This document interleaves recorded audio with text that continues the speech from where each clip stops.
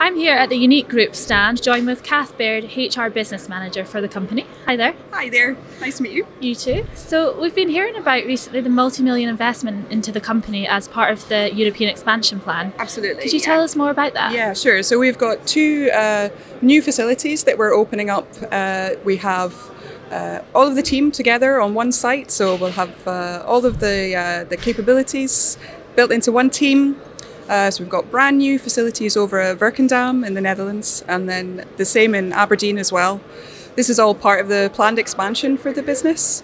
Uh, so this focus on survey equipment in Aberdeen, uh, and then all of the technical capabilities that we have over in Werkendam.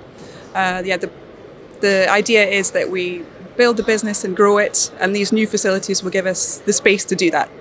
Fantastic. And will this create new jobs as well? Yeah, hopefully. Yeah, absolutely. Yeah, we're always looking to um, uh, take on board new talent. Uh, the company is also very supportive of the people that it has.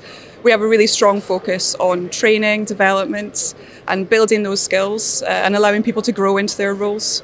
So yeah, yeah, we're hoping that we'll be able to take on lots of new staff. Great, and offshore Europe's obviously a great opportunity to discuss this with with visitors and other attendees and get the message out there. And how have you found the event so far? It's been great. It's been really busy, uh, and we've had a fantastic position here as well. Uh, so yeah, lots and lots of people coming past the stands, and lots of opportunities to to meet with new businesses as well. So yeah, it's been great.